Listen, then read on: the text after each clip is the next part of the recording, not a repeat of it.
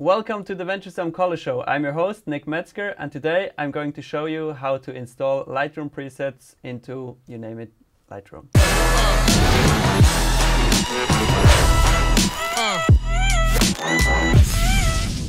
So when you're in Lightroom, you go over here and choose Lightroom.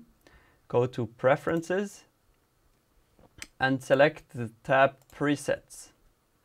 Over there, you go to Show Lightroom Presets folder. Double click on Lightroom. Double click on Develop Presets and choose User Presets.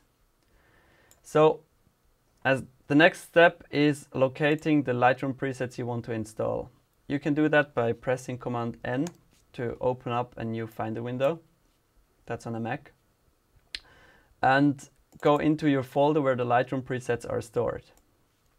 Then you simply choose all the presets and drag and drop them into the Lightroom preset folder. Next, you can close the Finder windows and close Lightroom. Skip until next week. Open Lightroom up again. And now when you have an image and you want to edit it, you simply go to the drop-down list user presets and there you have them.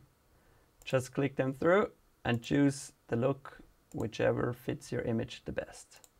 That's the easiest way to install Lightroom presets and I hope to see you in the next video. Have a good day.